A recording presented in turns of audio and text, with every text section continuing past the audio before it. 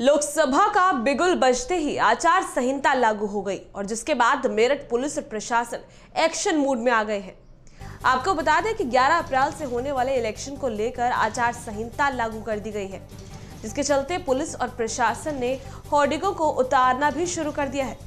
अधिकारियों के द्वारा बताया जा रहा है कि अगर दीवार पर भी पोस्टर या ऐसा कुछ लिखा जाएगा जिसमें आचार संहिता का उल्लंघन हो उसके खिलाफ सख्त से सख्त कार्रवाई की जाएगी। संहिता का जो उल्लंघन लोग करेंगे किस तरह से कार्रवाई होगी किस तरह से नोटिस दिए जाएँगे क्या पूरा प्रोसीजर है? माननीय निर्वाचन आयोग के द्वारा जो चुनाव आचार संहिता लागू की गई है इसमें हम लोग निष्पक्ष और शांतिपूर्वक चुनाव कराने के उद्देश्य से जो भी इसके नियम हैं अगर कोई उल्लंघन करता है तो उनके विरुद्ध मुकदमा पंजीकृत करके और आगे के हम लोग कार्रवाई करेंगे। सर नोटिस कैसे देंगे? और अगर नोटिस कोई फॉलो नहीं करेगा आपका इंस्ट्रक्शन तो किस तरह की कार्रवाई की जाएगी? इसमें जो भी नियमानुसार है नियमानुसार बैनर पोस्टर झंडे या कोई इनको सभा करनी है तो उसके नियमानुसार परमिशन है। जी। उस परमिशन का जो भी अगर कोई पालन नहीं करता है या रात 10 बजे से लेकर सुबह 6 बजे तक लाउड स्पीकर का प्रयोग वर्जित है। अगर कोई लाउड स्पीकर या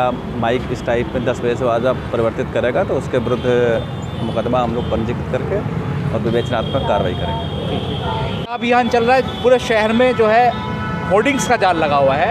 किस तरह से अभियान चलेगा और क्या क्या इसके तहत किया जाएगा जैसा हम सभी अवगत है कि माननीय निर्वाचन आयोग के द्वारा चुनाव की तिथि घोषित होते ही आचार संहिता आचार संहिता लागू हो गई है। उस अनुक्रम में हम लोग को माननीय आयोग के जो निर्देश हैं हम लोग 24 से 48 घंटे में जितने भी होर्डिंग पोस्टर बैनर वो लगे हुए हैं उसको अभियान चला के हटवाया जा रहा है। हाँ। साथ ही दीवालों पर अगर कोई ऐसा कुछ बनाया गया तो उसका हम लोग डिफेसमेंट की भी कार्रवाई की जाएगी। तो सर क्या गाड़ियों में होटर जो लगे हैं झंडे लगे हैं बैनर लगे हैं उन सबको अलावा उन सबको सभी चीज़ों को जो माननीय निर्वाचन आयोग के आदर्श आचार संहिता के जो नियम है व्यवस्था है उसके अनुरूप हम लोग उसका पालन सुनिश्चित कराएँगे।